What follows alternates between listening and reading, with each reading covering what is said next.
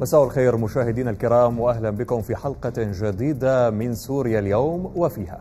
تهديدات الاحتلال الإسرائيلي بفتح موجة تصعيد ثانية ضد الوجود الإيراني في سوريا ونفي طهران لمسؤوليتها عن الهجوم الأخير. وفي محورنا الثاني مسيرات العودة في قطاع غزة وارتباك الاحتلال الإسرائيلي أمام أساليب المقاومة الجديدة وأهداف ونتائج المسيرات مع قرب انتهائها. كل ذلك وأكثر بعد نشرة موجزة مع الزميلة نور الهدى مراد. مساء الخير نور. مساء النور أصلا وشكرا لك. واهلا بكم مشاهدينا في نشرة لأهم الأخبار من تلفزيون سوريا. قال فلاديمير كوجين مساعد الرئيس الروسي في تصريحات لصحيفة إزفستيا الروسية إن موسكو لا تجري محادثات مع النظام السوري لإمداده بصواريخ إس 300 ارض جو المتطورة ولا تعتقد أنها ضرورية. تصريحات كوجين جاءت في أعقاب زيارة قام بها رئيس الوزراء الإسرائيلي بنيامين نتنياهو لموسكو هذا الأسبوع.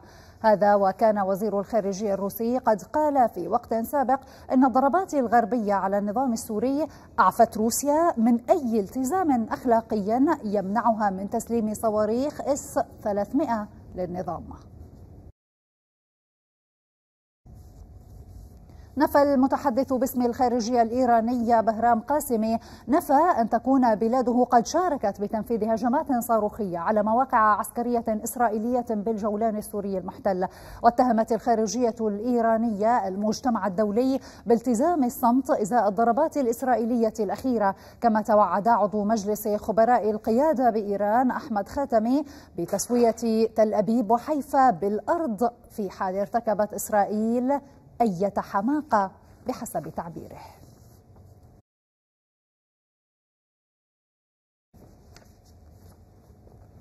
نشر الموقع الرسمي للجيش الإسرائيلي شريطا مصورا لاستهداف منظومة صواريخ بانتسير الروسية الصنع والتابعة للنظام السوري في خان أرنبة بريف القنيطرة. وتظهر في المقطع المصور عربة عسكرية من نوع إس اي 22 والتي تعرف باسم بانتسير إس 1 روسية الصنع في أحد المواقع العسكرية قبل تدميرها. وهي مخصصة للدفاع الجوي وإطلاق صواريخ مضادة للطائرات. كما نشر الجيش الإسرائيلي صورا جديدة للمواقع التي استهدفها داخل سوريا فجر أمس الخميس. وبحسب المتحدث باسم الجيش الإسرائيلي أفيخاي أدرعي فإن المواقع المستهدفة تابعة لفيلق القدس الإيراني وتتضمن مواقع استخباراتية وموقعا عسكريا وموقعا للخدمات اللوجستية. وتظهر الصور عددا من المواقع في محيط العاصمة دمشق. وصلت الدفعة السابعة والأخيرة من مهجري جنوب دمشق إلى قلعة المضيق في ريف حماة الغربي وبهذا تصبح بلدات يلدة وببيلة وبيت سحم تحت سيطرة النظام السوري بشكل كامل. هذا ويعاني آلاف المدنيين المهجرين من جنوب دمشق أوضاعا مأساوية على مشارف مدينة الباب بريف حلب الشرقي حيث أكدت مصادر أكدت أن القافلة الخامسة والسادسة تنتظران في منطقة قريبة من مدينة الباب بانتظار السماح لهم بالدخول من قبل الجيش التركي الموجود هناك. والله وضع المهجرين بالنسبة لهي الدفعة آه، كان كثير صعب لأنه ضلوا تقريبا حوالي 48 ساعة على الطريق بسبب عدم استقبالهم آه، بريف حلب الشمالي، كان وضعهم صعب نفسيا جسديا أمراض آه، يعني في كثير كان أمراض بالنسبة للأطفال وبالنسبه للنساء الحوامل. نحن هون كمنظمة طبية بنقدم خدمات طبية أولية أمراض داخلية. الأمراض الجراحية بنحولها مباشرة على منظومات الإسعاف. آه، بالنسبة للجرحى بنقدم الضمادات والمواد الأولية اللازمة وكمان بنحولهم على المشافي التخصصية. وعندنا والحمد لله يعني الأدوية المتوفرة آه، تقريبا كافيه يعني لسداد الحاجي بالنسبة لكافه الأمراض الداخلية. طلعنا مهجرين من ريف حمص الشمالي، طلعنا صرنا هلأ ثلاث أيام واقفين على معبر آه، الباب. ما رضوا يفوتونا درع الفرات. قال ما في عندهم محلات ورافضين فوتتنا. رجعونا على حلب على حما ومن حلب من حما رجعوا فوتونا على قلعة المضيق. صرنا ثلاث أيام بالرحلة. صار معنا حالة وفاة وصار معنا كذا حالة ولاده وصار معنا حالة انهيار عصبي. يعني صرت لمينا نهارين وهن محاصريننا محاصرنا الجيش ما في حماية يعني إلنا غير الشباب اللي معانا اللي معاها بواريد. يعني توقع ما كنا متوقعينه من الجانب اللي نحن على أساس إنه رايحين عليه انه هو يحضننا. تستعد الدفعة الثالثة من مهاجري ريف حمص الشمالي للخروج إلى محافظة إدلب بموجب اتفاق الخروج الذي وقعته فصائل المنطقة مع روسيا والنظام السوري حيث دخلت اليوم ستون حافلة إلى مدينة تلبيسة استعدادا لنقل من يرغب بالخروج من المدنيين والمقاتلين حيث يقدر عدد الراغبين بالخروج بنحو ثلاثة آلاف شخص بين مدني ومقاتل. يشار إلى أنه منذ بدء تنفيذ الاتفاق في السابع من شهر أيار الجاري خرج نحو ستة آلاف ومئتي شخص توزعوا على دفعتين. دخل صباح اليوم وفد استطلاع تركي لزيارة عدة نقاط في جسر الشغور بريف إدلب تمهيدا لتثبيت نقاط مراقبة في هذه المناطق بعد أن دخل وفد استطلاع يوم أمس إلى قلعة المضيق ومناطق أخرى في ريف حما الشمالي والغربي. ورافق الوفد رتل عسكري تركي مؤلف من عدة آليات وسيارات عسكرية برفقة عناصر من فصائل المعارضة حيث استطلع المناطق المحيطة في بلدتي إبدامة والناجية غرب إدلب. كما سبق أن تمركزت القوات التركية في التاسع من الشهر الجاري في منطقة الراشدين بريف حلب الغربي. أفادت مصادر محلية من ريف دير الزور أن الريف الشرقي شهد حركة نزوح بسبب القصف المكثف ونتيجة توقعات ببدء عمل عسكري بري لقوات سوريا الديمقراطية ضد تنظيم الدولة. ونزحت عشرات العوائل من مدينة شعفة وقريتي الكشمة والبقعان الخاضعة لسيطرة تنظيم الدولة باتجاه البادية السورية. وعلى الرغم من إعلان قسد عن استئناف عملياتها العسكرية ضد تنظيم الدولة قرب الحدود السورية إلا أن تنظيم الدولة ما زال يوجه ضربات عسكرية مباغتة بين الحين والآخر على مواقع النظام في مدينة البكمال. أعلنت القوات العراقية اعتقال خمسة قادة من تنظيم الدولة خلال عملية وصفتها بالنوعية داخل الأراضي السورية في المنطقة الحدودية مع العراق. وبحسب بيان للقوات العراقية فإن المعتقلين هم صدام الجمل مسؤول ما تسمى ولاية الفرات. ومحمد حسين حضر الملقب بأبي سيف الشعيطي أمير قاطع الميادين وعصام عبد القادر الزوبعي الملقب بأبي عبد الحق العراقي وعمر شهاب حماد الكربولي الملقب بأبي حفص الكربولي وهو أمير ما يسمى باستخبارات ولاية الفرات وإسماعيل علوان العيثاوي الملقب بأبي زيد العراقي أحد معاوني البغدادي قتل شاب فلسطيني برصاص جيش الاحتلال الإسرائيلي شرق مدينة خان يونس جنوب قطاع غزة فيما أصيب العشرات خلال مواجهات الجمعة السابعة لمسيرات العودة. وتتضمن الفعاليات التقدم باتجاه السياج وإشعال الإطارات المطاطية في الجمعة الأخيرة قبل أن تبدأ مسيرة العودة الكبرى المقررة عشية ذكرى النكبة في الرابع عشر من أيار الجاري والتي يصفها المنظمون بيوم الحشد الكبير. دخل العراق مرحلة الصمت الانتخابي الذي يسبق الانتخابات العامة اعتبارا من صباح اليوم الجمعة مع عقوبات بحق المخالفين تصل إلى حد منع المرشح أو الحزب من المشاركة فيها. وتوقفت الحملات الدعائية لجميع المرشحين قبل يوم من بدء التصويت في الانتخابات البرلمانية غدا السبت وذلك بعد شهر من بدء الحملات في الرابع عشر من نيسان أبريل الماضي بحسب ما تفرضه المفوضية العليا للانتخابات العراقية. وانتهى أمس التصويت الخاص بالقوات المسلحة كافة وبلغت نسبة المشاركة بحسب مفوضية الانتخابات 78%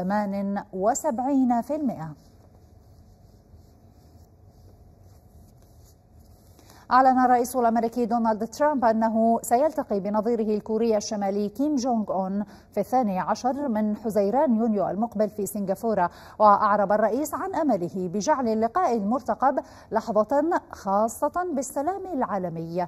وفق تغريدة نشرها على حسابه الخاص في تويتر وكان كيم قد أعلن في اليوم ذاته ولأول مرة عن لقائه المرتقب بترامب معتبرا أنه يشكل فرصة تاريخية وخطوة ممتازة لتحسين الأوضاع في شبه الجزيرة الكورية.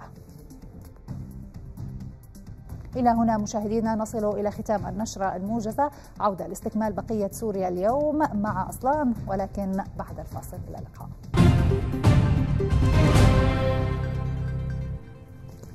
أهلا بكم في سوريا اليوم. وفي أولى محاور الليلة إعلان تل أبيب عن موجة تصعيد ثانية ضد الوجود الإيراني في سوريا بالتزامن مع نفي رسمي لطهران تنفيذ الهجوم الصاروخي الأخير على الجولان المحتل.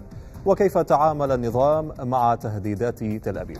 وفي محورنا الثاني وصول مسيرة العودة لجمعتها الأخيرة وسط دعوات للحشد منتصف الأسبوع بالتزامن مع ذكرى النكبة.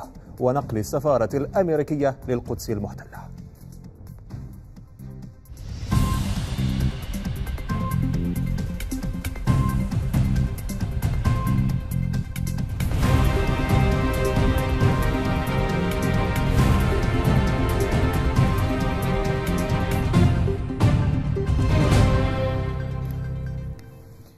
تشهد المنطقة مزيدا من التصعيد والتوتر بين الاحتلال الإسرائيلي وإيران بعد أن شنت القوات الإسرائيلية العديد من الهجمات على سوريا مستهدفة مواقع عسكرية تابعة للجيش والميليشيات الإيرانية.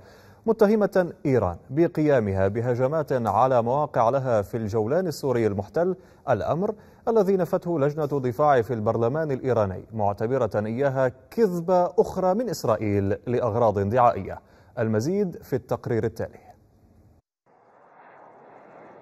قواعد الاشتباكات في المنطقة تبدو على وشك التغيير في ظل التصعيد الكبير الذي طغى على العلاقات الدولية المختلفة والمتقاطعة على جبهة سوريا. إسرائيل ثمرة السياسة الغربية في الشرق الأوسط تتبنى فكرة الصراع مع إيران وتصاعد من مواقفها وتحركاتها خاصة بعد موقف النظام الجديد الذي لا يشابه ذلك الذي تمثل في الاحتفاظ بحق الرد لأكثر من خمسين عاما. التغير الذي طرأ على موقف نظام الأسد لا يبدو محلي الصنع كما أنه لا يبدو غير متوقع بالنسبة لإسرائيل التي اعتبرته إنذارا ينبئ بخطر المشروع الإيراني الذي يلقي بظلاله على المنطقة وهو ما حذر منه رئيس الوزراء الإسرائيلي خلال زيارته إلى موسكو إذ دعا إلى ضرورة العمل للحيلولة دون تحول سوريا إلى ساحة للصراع الإسرائيلي الإيراني. حينما يأتي الإعلان الإيراني الرسمي عن عدم علاقتها بالهجمات التي استهدفت مواقع إسرائيلية دائرا في سياق الدبلوماسية الإيرانية التي حققت خطوات كبيرة في المنطقة متهمة إسرائيل بالكذب لأغراض دعائية ومظهرة نظام الأسد من جديد كسلعة قابلة للبيع بثمن بخس في سياق العلاقات الدولية المتشعبة. في الوقت الذي خيم فيه الصمت يبدو موقف روسيا الدولة الأقوى دعما لنظام الأسد أكثر ضعفا وربما تظاهرا بالعجز الأمر الذي يقرأه متابعون على أنه تجسيدا لحالة الخلاف القائم بين روسيا وإيران على الرغم من أن الظروف الدولية جمعتهما في خندق واحد. ونستضيف في هذا المحور العقيد أديب علاوي محلل عسكري من مدينة غازي عنتاب جنوب تركيا والعميد نزار عبد القادر المحلل الاستراتيجي من بيروت.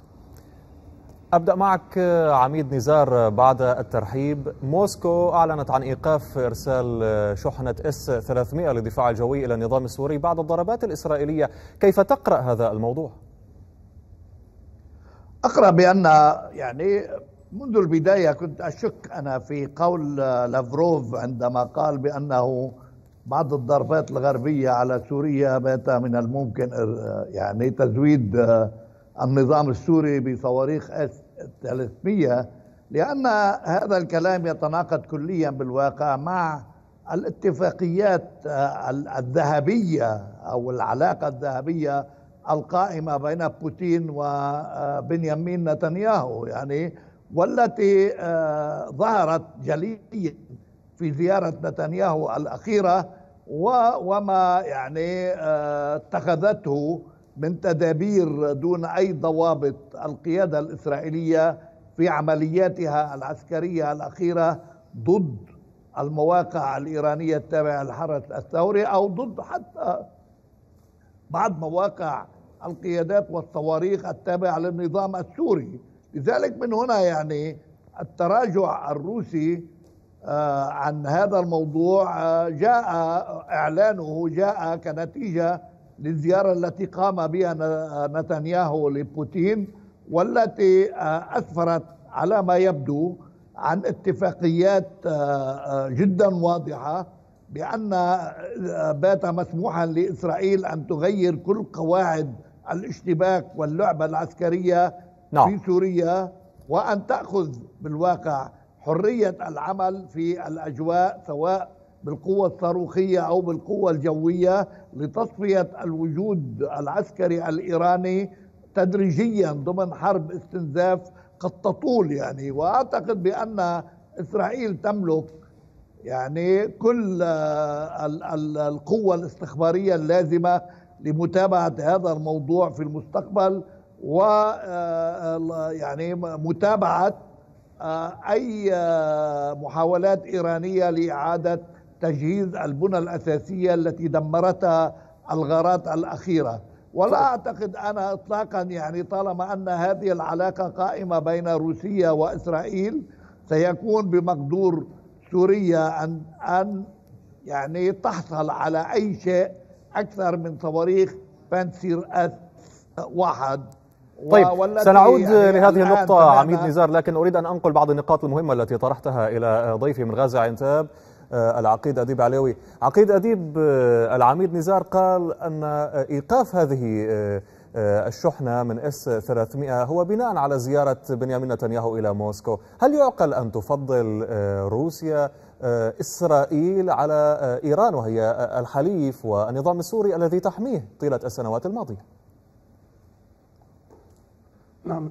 تحية لكم وتحية للمشاهدين الكرام. حقيقة آه، أنا أعتقد أن يعني الكلام هناك مغالطات شديدة. يعني منذ أكثر من آه، يعني آه، من من مطلع السبعينات دعني أقول أن روسيا لم تزود النظام السوري نظام حافظ الأسد بأي أسلحة هجومية بل هي كانت تزود فقط في الأسلحة الدفاعية.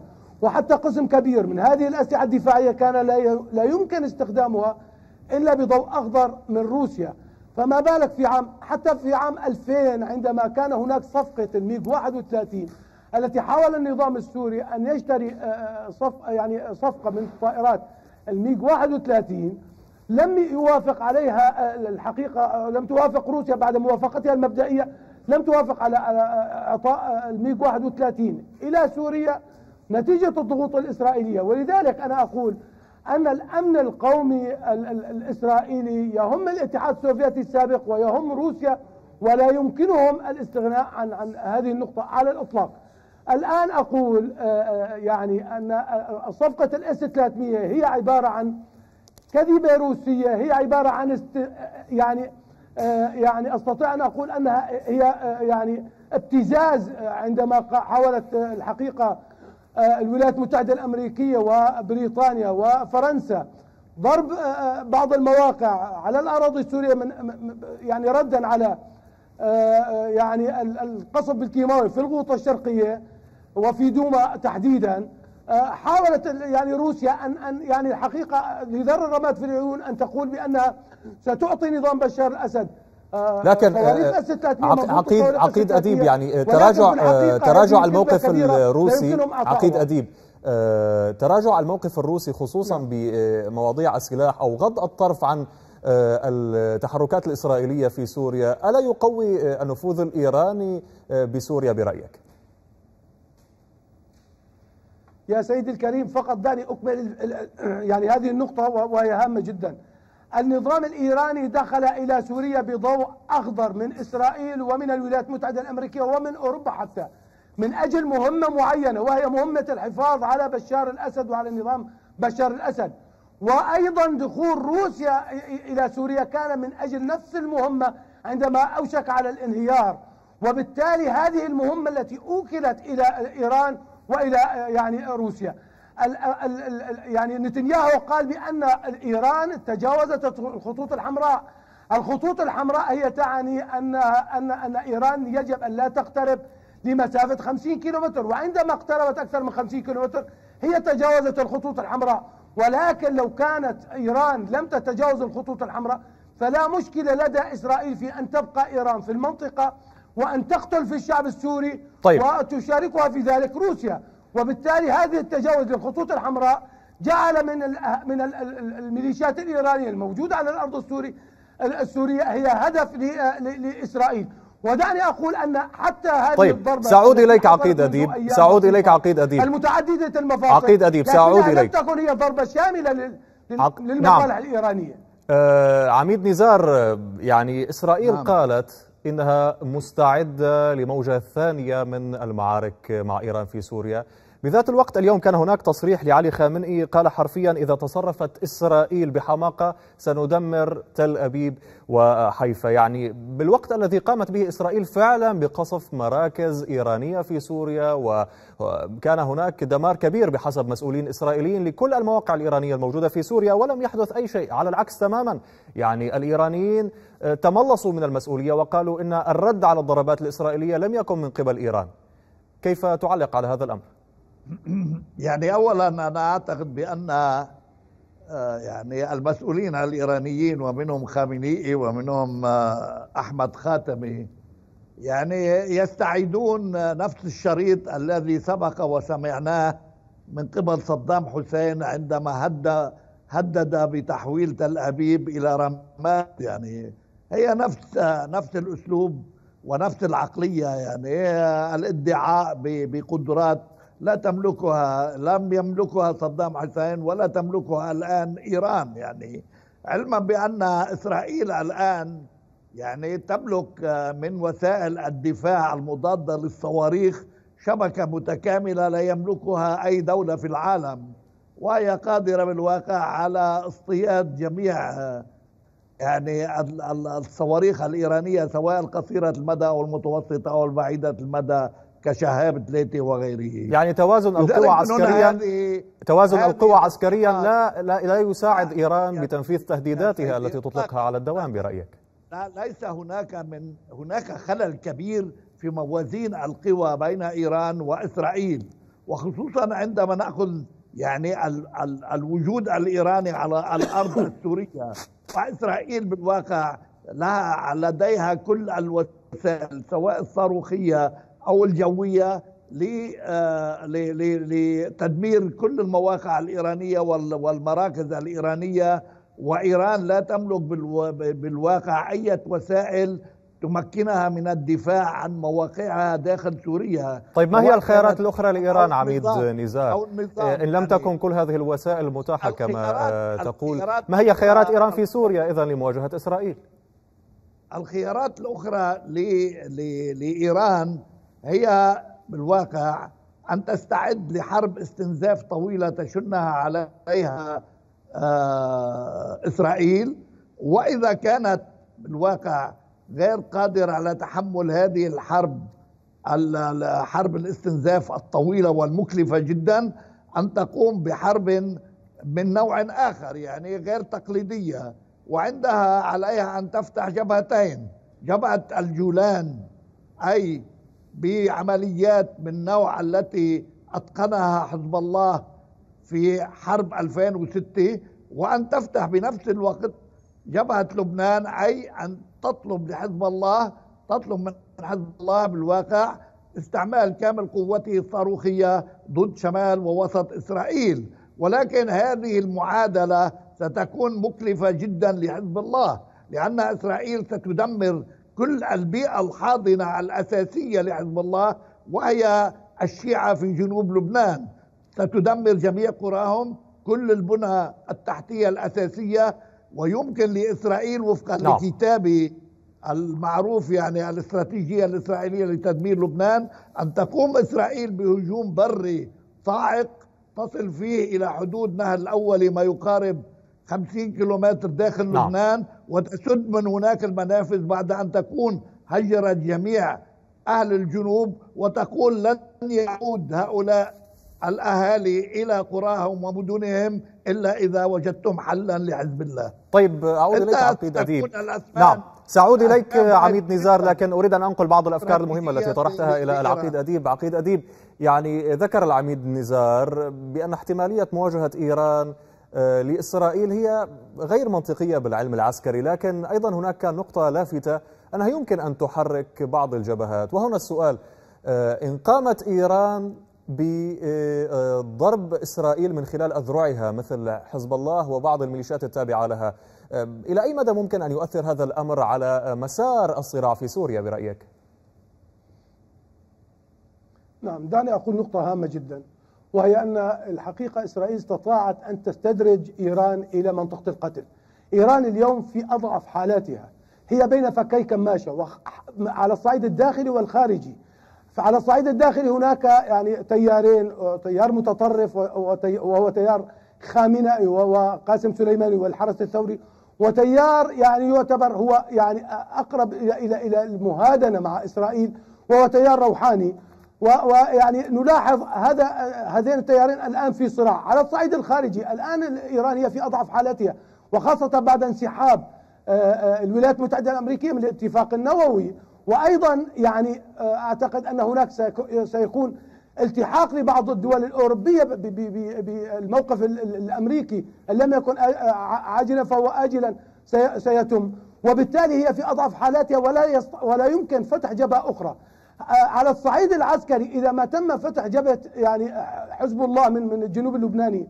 فكما قال ضيفك سيتم تدمير البنى التحتية وسيتم تدمير القرى الشيعية والحاضنة الشعبية إلى اضافه إضافة إلى كل منصات الصواريخ التي ستطلق منها يعني حزب الله. طيب.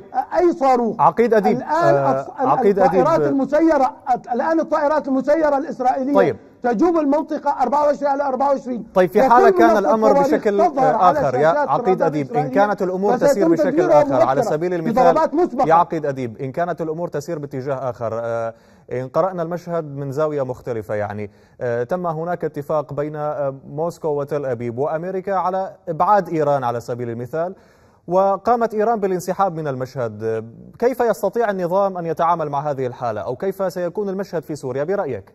إن انسحبت إيران إن انسحبت إيران طبعا سيكون هناك يعني حقيقة هو النظام هو في أضعف حالاته أو دعني أقول أنه أصبح ميليشيا تتبع إلى روسيا المحتلة بكامل يعني الآن روسيا تحتل سوريا يعني بكامل أركان أو ما يسمى بالاحتلال الرسمي. يعني هي محتلة لسوريا عسكريا سياسيا اقتصاديا من كافة النواحي. وبالتالي المشهد سيكون هو بسط النفوذ الروسي على سوريا وبقية الدول أيضا لها نفوذ. يعني دعني أقول أن هذه الاستراتيجية الأمريكية ستطبق على الأرض السورية وهي أن تبقى سوريا تحت مجموعة من الدول لكل دولة نفوذها في في منطقة معينة نعم. كما هي في المنطقة الشمالية وفي المنطقة الشرقية طيب. وأيضا في المنطقة الجنوبية بالمنطقة الجنوبية أريد أن أذهب إلى العميد نزار إلى العميد نزار إلى منطقة أخرى نعم عميد نزار كما نعرف يعني بعد الزيارة الإسرائيلية لموسكو التي جاءت مؤخرا هناك طلب إسرائيلي كان لكل الأطراف يعني لموسكو ولأمريكا بإبعاد الإيرانيين من المنطقة الجنوبية طيب من يستطيع في المشهد السوري الآن تحقيق هذا الطلب برأيك؟ أنا أعتقد بأنه إيران لن تنصت لأحد وإيران لديها مصلحة أساسية يعني في التواجد في الأرض السورية وفي الإبقاء على نظام بشار الأسد كحليف أساسي لها. لأنه يعني إذا أضعفت إيران أو انسحبت إيران من سوريا وهذا أعقب فيه على سؤالك للعقيد. فإن كل المشروع الإيراني في المنطقة سواء في العراق أو في لبنان أو في اليمن أو في البحرين أو سيتدهور يعني مثل بيقول له لبنة بعد أخرى. لذلك يعني سوريا تعتبر نقطة المركز نقطة الثقل للاستراتيجية الإيرانية على الصعيد الإقليمي ولذلك لا يمكن أن تتخلى عنه. وعلى إيران أن لكن ألا يمكن لروسيا ألا يمكن لروسيا وأمريكا؟ عميد عميد ألا يمكن لأمريكا وروسيا أن اتفقتا على إزاحة إيران من المشهد السوري أن يفعلوا ذلك؟ رغما عن إيران.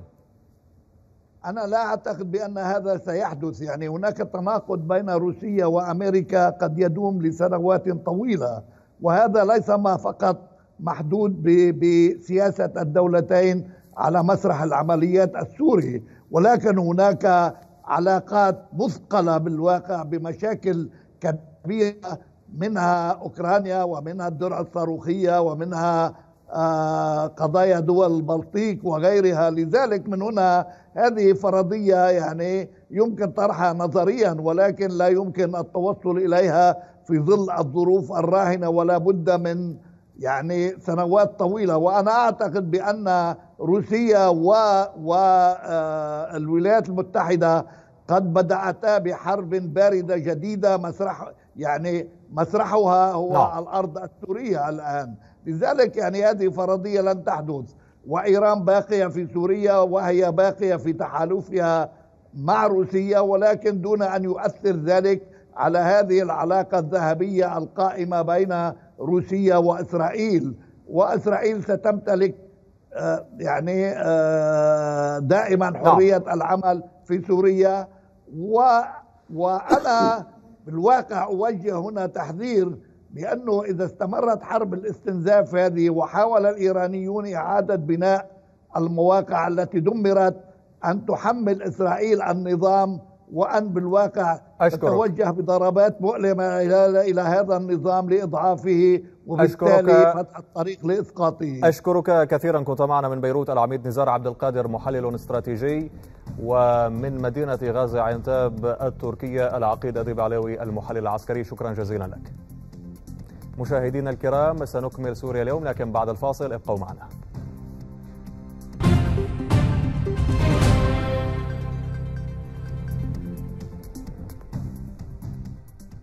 أهلا بكم من جديد. انطلقت مسيرة العودة الكبرى في آخر جمعة لها بمشاركة الألاف في قطاع غزة تحت شعار جمعة النذير. هذا ومن المقرر أن تلحق بمظاهرة اليوم مسيرة مليونية يتوقع من خلالها انطلاق بعد عدة أيام وذلك تزامنا مع الذكرى السبعين للنكبة الفلسطينية. تفاصيل أكثر حول التداعيات والمآلات المرتقبة في سياق هذا التقرير. وهكذا تصل مسيرة العودة الكبرى إلى جمعتها السابعة والأخيرة. وهي المسيرة التي انطلقت في ثلاثين من آذار مارس الفائت تزامنا مع ذكرى يوم الأرض الفلسطيني. وما زال الفلسطينيون يتوافدون بالألاف في خمس مناطق لقطاع غزة والتي تبعد مئات الأمتار عن السياج الأمني العازل. وهي تحضير لمليونية العودة التي ستشهدها الأراضي الفلسطينية بعد أيام في الذكرى السبعينية للنكبة الفلسطينية. إنه السلوك الفلسطيني الجديد على خط المقاومة الشعبية وذلك بعد انسداد الأفق السياسي الفلسطيني والتناقضات الصعبة بين دول المنطقة ناهيك عن اختلال في التوازن الدولي بالإضافة لصفقة القرن والتي بدت ملامحها الواضحة تظهر عبر الموقف الأمريكي من مسألة القدس والاعتراف بها عاصمة للاحتلال الإسرائيلي. وهنا لن تكون حركة حماس بمعزل عن هذه الصفقة لكن المسؤولين فيها يدركون كما يصفون سخونة هذا الإقليم المضطرب وبذات الوقت لا يمنعهم هذا من التوصل لرؤية موحدة لكسب الدعم للقضية الفلسطينية عبر الطرق السلمية كما يعبرون. ومع ذلك لن تستجيب حركة حماس لنزع سلاحها أو إيقاف نشاطها العسكري بحسب المسؤولين البارزين. ومقاومة الشعب لجيش الاحتلال حق تكفله القوانين الدولية يضيف المسؤولون. والحق هنا يبتكره الفلسطينيون باستراتيجيات تهدف إلى تسخين الحدود مع دولة الاحتلال. وهم الباحثون عن التذكير بأن هناك قضية لاجئين وأن هناك أجيالا لن تنسى وطنها وتريد العودة. هي أهداف إذا لمسيرة العودة الكبرى تريد لفت انتباه العالم إلى حقوقهم المشروعة وعدم تمرير صفقة القرن والتأكيد على مشكلة اللاجئين. وهي فاتورة دموية استشهد فيها منذ أول جمعة حتى آخر الجمعة ما لا يقل عن 53 فلسطينيا وإصابة سبعة آلاف آخرين. هو الثمن الذي يدفعه الفلسطينيون منذ العام 1948 وهو الثمن كذلك التي دفعته غزة منذ حصارها الخانق عام 2006 حق العودة والذي اعترفت به القرارات الدولية بدءا من القرار 194 بعد ستة أشهر فقط من هجرة الفلسطينيين عام 48 ثم أكده القرار 242 عام 1974 يحاول الفلسطينيون بعد سبعين سنة على نكبتهم أن يقولوا للعالم نحن هنا نحن عائدون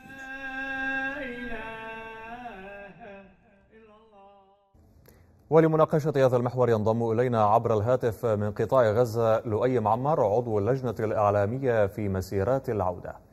وينضم إلينا أيضا هنا في الاستديو الصحفي ماهر شاويش. مرحبا بكما ضيفاي. أبدأ معك سيد لؤي. ماذا حدث اليوم؟ وما هي الخطوات القادمة خلال الأيام القليلة المقبلة؟ بسم الله الرحمن الرحيم. يعني اليوم كانت هناك حشود كبيرة من جماهير الشعب الفلسطيني في قطاع غزة تحتشد معتصمة في المخيمات المقامة على امتداد شرق قطاع غزة من رفح جنوبا إلى جباليا شمالا. حشود كبيرة.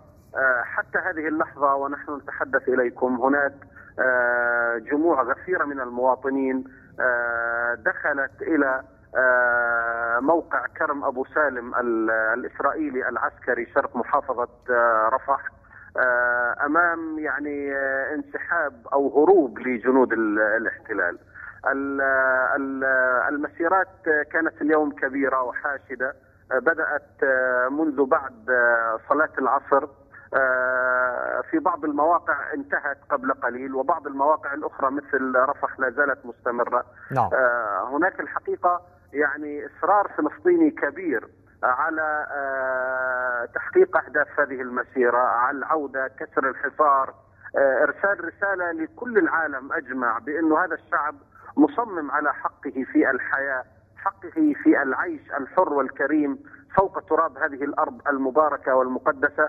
أيضا هناك رسالة رسالة رفض وإصرار وتصميم على إسقاط مخططات المخططات الصهيو امريكيه التي تستهدف مدينة القدس التي تعتبر يعني أحد أخص خصوصيات المسلمين وأحد أقدس مقدساتهم.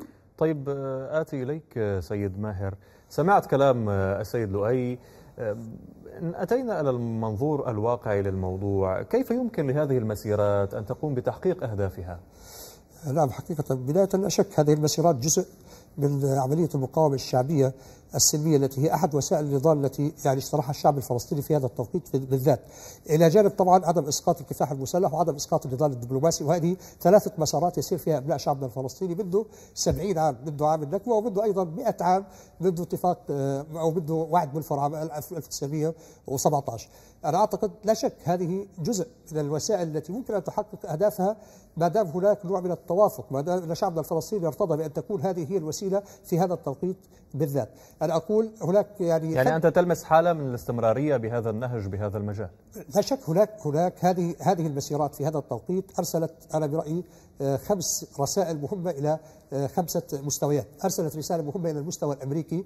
هذا المستوى الذي يقود الآن رجل يتعاطى مع السياسة على أنها صفقة وعلى أنها تجارة وبالتالي قدم صفقة القرن. وبالتالي الرسالة اليوم في جمعة النذير أنه شعبنا الفلسطيني ينذر هذا المستوى بأنه لا يمكن أن تمر هذه الصفقة. رسالة أيضا إلى المستوى الإسلامي بأن هناك ثمة مقدس يمس وهو قضية القدس. وبالتالي عليكم أن تستنهضوا من أجل هذه القضية. رسالة إلى المستوى العربي فيما يتعلق في عملية التطبيع التي تسير كما يسير النار في الهشيم في هذا التوقيت. وبالتالي جمعة النذير هي إنذار للمستوى العربي بأنه عليكم أن تقفوا أو توقفوا هذه عملية التطبيع لأن الشعب الفلسطيني هذا هذا هو موقفه وهذه هي رسالته. أعتقد أن ثمة رسالة مهمة جدا أيضا إلى الجانب الإسرائيلي بأنه معركتنا معركة معك الآن معركة وجود وليست معركة حدود. وهذه المسيرات أعادت القضية الفلسطينية إلى واجهة العالم كله. أعادت القضية الفلسطينية إلى مربعها الأول في قضية يعني طبيعة الصراع ولا شك هناك رسالة للمستوى الفلسطيني وتحديدا للسلطة أنا أعتقد أن الرسالة واضحة من أبناء شعبنا الفلسطيني في قطاع غزة هذا الشعب الذي جوع على مدار 11 عام اليوم يقول كل الإجراءات العقابية وكل الإجراءات التي تتم من أجل تضييق الحصار أكثر على أبناء شعبنا الفلسطيني لا تجدي وبالتالي بدل ان ينتفض الشعب الفلسطيني باتجاه الحكومة في قطاع غزة أو باتجاه يعني من يدير قطاع غزة انتفض أبناء شعبنا الفلسطيني باتجاه عدوه الأساسي وباتجاه المحتل الصهيوني. هذه هي ثمة ثمة رسائل مهمة تؤكد على أن هذه على أن أهداف هذه المسيرة قد وصلت ورأسها قد وصلت إلى العدو والصديق. نعم. طيب أعود إليك سيد لؤي. لو تطلعنا على أسلوب تعامل الجيش آه، الإسرائيلي مع مواجهة آه، هذه المسيرات يعني سمعنا عن أساليب جديدة مثل طائرات ورقية وما إلى هنالك من أساليب لمواجهة هذه المسيرات. لا هو بلا شك الشعب الفلسطيني يواجه آه، الإرهاب بعينه يواجه الإرهاب في في أبشع صوره. الإرهاب الإسرائيلي يجب آه، أن يكون ذلك واضحا. آه، هناك أعداد كبيرة من آه، الإصابات تجاوزت ربما ثمانية آلاف مصاب وجريح حتى هذه اللحظة منذ بداية المسيرات. السياسات الإسرائيلية العدوانية التي بالمناسبة لا تستهدف هذه المسيرات فقط هي تستهدف أيضا كل أبناء الشعب الفلسطيني في كل مكان. الليلة الماضية فقط آه، قامت آه، سيارة يقودها مستوطن إسرائيلي بدهس مواطن فلسطيني في محافظة الخليل في الضفة الغربية جنوب الضفة الغربية. آه، وقد استشهد فارق الحياة هذا المواطن الفلسطيني ظهر اليوم متاثرا بإصابته جراء هذا الدهس. اذا الاعتداءات الإسرائيلية مستمرة. الآن تعامل تعامل الجيش الإسرائيلي يطلق الرصاص يطلق الغاز المسيل للدموع على هؤلاء العزل الذين يأتون بصدور عارية وبأيدي آه، عزلاء كل الأدوات التي يستخدمها الشعب الفلسطيني أو المتظاهرون الفلسطينيون في هذه المواجهات وفي هذه المسيرات هي أدوات آه، أدوات سلمية آه، أدوات بسيطة لا يملكون سلاحا ولا يملكون يعني لا يملكون سوى الإرادة الحقيقية لا طيب سيد لؤي في خضم كل ما ذكرت الآن من معلومات وتفاصيل كيف تقرأ موقف السلطة الفلسطينية من كل ما يحدث الآن؟ يعني الحقيقة السلطة آه، عاجزة عن فعل عاجزة عن فعل شيء السلطة لم تقدم شيء يعني حتى الآن السلطة تمنع حتى المظاهرات في الضفة الغربية آه، تمنع الناس في الضفة الغربية من التحرك لمؤازرة ومساندة إخوانهم في قطاع غزة. آه، المشهد في في الضفة الحقيقة قاتم بفعل إجراءات السلطة وبفعل استمرار التنسيق الأمني. آه، هذا هذا هذه هذا الموضوع هو يلخص الحقيقة باختصار شديد موقف السلطة التي لا زالت تراهن على المفاوضات. نعم. طيب آه، سيد ماهر آه، بالنسبة الآن نحن أمام استحقاق قادم وهو نقل سفارات لعدة دول إلى القدس. طبعا أمريكا إضافة إلى بعض الدول. هل يمكن لهذه المسيرات أن تؤثر بموقف بعض الدول الأخرى من أجل هذا الإجراء؟ أنا أعتقد ممكن هذه هذه المسيرات أن على الأقل أن توصل رسائل لهذه الدول التي ستم سيتم نقل يعني سفاراتها إلى القدس. وأعتقد أن يعني مربط الفرس في الموضوع أعتقد هو الضفة الغربية. يجب أن يكون هناك تحرك واسع من الضفة الغربية ومن القدس تحديدا لأنه حقيقة مستوى الاحتكاك ومساحة هامش الاحتكاك مع العدو الصهيوني في الضفة الغربية وفي القدس تحديدا هو أكبر من التحركات هناك كانت محدودة يعني كما ذكر ضيفنا أيضا هذه هذه حقيقة هذه عزيزي حقيقة إشكالية لدى السلطة الفلسطينية لأن السلطة الفلسطينية هي التي رفعت شعار المقاومة الشعبية. مع الأسف الآن نعتقد يعني نرى السلطة الفلسطينية تنكس عن هذا عن هذا الشعار ولا تمارس ذلك على أرض الواقع. ما هو السبب برأيك سيد السبب السبب حقيقة لأنه أصلا السلطة الفلسطينية في في هذا في هذا الواقع آه، حقيقة هي أصلا تراجعت عن كل ما يتعلق في قضية حق حق العودة. السلطة الفلسطينية منذ توقيع اتفاق أوسلو عام 1993 هي يعني عمليا شطبت نصف الشعب الفلسطيني ولم تعد تهتم في هذه القضايا. وبالتالي ليس من مصلحة السلطة الآن أن تعود وتحيي قضية حق العودة. هم يرفعون قضية حق العودة فقط كشعار. أما كسلوك وممارسة على أرض الواقع هذه أصلا الآن يعني هم الآن أمام فرصة يعني جد مهمة حتى يفعلوا قضية المقاومة الشعبية في الضفة الغربية التي لديها مساحات واسعة. هناك استيطان هناك جدار فاصل هناك مستوطنين وبالتالي عملية الاحتكاك أكبر وأوسع.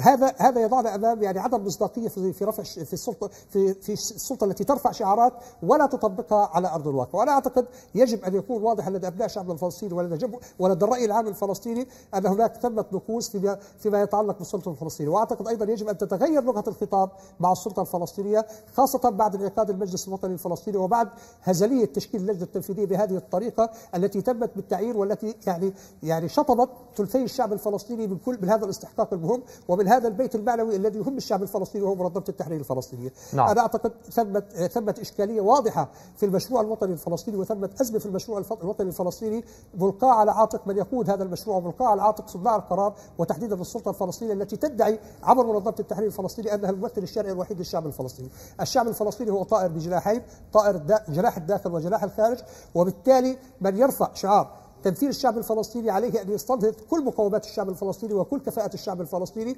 ويجب أن يأخذ درس وعبرة من أبناء شعبنا الفلسطيني في في قطاع غزة. الذين يعني يعني حقيقة ابدعوا حتى في التسميات. سموا جمعة الكوشوك سموا جمعة العمال سموا جمعة الأسرى والشهداء واليوم يسمون جمعة النذير وفي كل هذه المسميات رسائل واضحة إلى أنهم يريدون أن يستنهضوا كل أبناء شعبنا الفلسطيني. وإلا لماذا تسمي جمعة العمال؟ هذه إشارة واضحة إلى أنه كل الشعب الفلسطيني بحاجة أن يعني تحشد طاقاته لأن العمال هو جزء من النقابات والاتحادات وجزء من يعني المجتمع المدني الفلسطيني الذي يجب أن يتم تحشيد طاقاته من أجل معركة العودة والتحرير، وهم الذين أطلقوا حرب التحرير الشعبية، الآن نحن أمام حرب تحرير شعبية. الأصل أن تمارس من السلطة التي رفعت هذا الشعار منذ عام 1965 عندما يعني انطلقت الحركة الوطنية الحديثة اذا اذا صح التعبير. لكن في ظل الواقع العربي الآن طبعا سأعود إليك لنناقش هذه النقطة. كيف يمكن استثمار هذا الأمر وهذه التحركات؟ أريد أن أسأل هذا السؤال إلى آه، السيد لؤي معي من غزة. كيف يمكن لكم استثمار آه، هذه التحركات بشكل يعود بشكل إيجابي على آه، مسير القضية الفلسطينية؟ لا هو إذا أنت تسألني عن التحركات ال- العربية هو الحقيقة لا يوجد فعل عربي لا لا التحركات تحركات مسيرات العودة كيف يمكن لكم استثمارها لصالح القضية الفلسطينية؟ يعني تأخذوا النتائج. لا هي بالاساس بالأساس هذه المسيرات جاءت لإعادة الاعتبار للقضية الفلسطينية وجاءت آه، لإعادة الاعتبار للمشروع الوطني آه، كمشروع تحرري آه، في مواجهة الاحتلال، جاءت لإعادة تعريف المشروع الوطني آه، مشروع مقاومة ومشروع مواجهة ضد الاحتلال، ليس مشروع بناء سلطة. وليس مشروع تقاسم أو مشروع خلاف على آه، من يحكم ومن آه، ومن يدير، ليست سلطة في ظل الاحتلال وليست سلطة تحت الاحتلال، ليس القص الموضوع أن أن ال يعني باختصار شديد هناك آه، أولوية الآن أولوية فلسطينية لمواجهه الاحتلال. التخلص من كل الاعباء والمعاناة التي يفرضها الاحتلال في في مواجهة الشعب الفلسطيني. ولذلك آه، هناك حالة وعي الآن آه، أعيد إحيائها لأنه المشكلة الأساسية التي تواجه الشعب الفلسطيني هو هي وجود الاحتلال، الاحتلال الذي يتهدد الوجود الفلسطيني على هذه نعم. ال- الأرض، وطالما إنه آه، هذا الاحتلال موجود ستبقى المؤامرات تمرر وستبقى المخططات تهدد القضية الفلسطينية، تهدد الوجود الفلسطيني على هذه الأرض، إحنا اليوم أمام محامل- مح- مؤامرة أمريكية جديدة لتصفية القضية الفلسطينية عبر ما يسمى بصفقة القرن، هذه ال- الصفقة التي بدأت بالفعل أو هذا المخطط الذي بدأ بالفعل في القدس بنقل السفارة بإعلان. نعم. اكرام القدس عاصمة للكيان الإسرائيلي بالمساس المباشر بقضية اللاجئين وبحق العودة والمساس بالأونروا وكاله غوث وتشغيل اللاجئين الفلسطينيين آه، لتصفية أو لانهاء قضية اللاجئين لانهاء هذه القضية لإغلاق هذا الملف ملف اللاجئين الفلسطينيين. اليوم أمام هذا كله الحقيقة بات واضح إنه يجب أنا أن أشكرك يكون أشكرك. للمشروع وصلت الفكرة سيد لؤي بعجالة لو سمحت.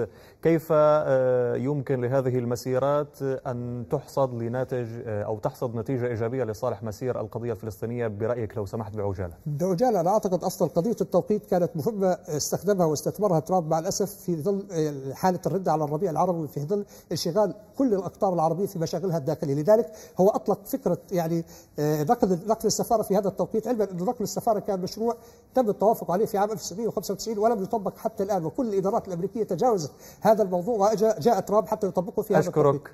أشكرك كثيرا آه، السيد ماهر شاويش كاتب صحفي كنت معنا هنا في الاستوديو. وأشكر لك أيضا آه، لؤي معمر عضو اللجنة الإعلامية لمسيرات العودة. كنت معنا من قطاع غزة. والشكر موصول لكم دائما مشاهدينا الكرام. على أمل اللقاء بكم دائما بكل خير. حتى ذلك الحين. نترككم بأمان الله ورعايته. إلى اللقاء.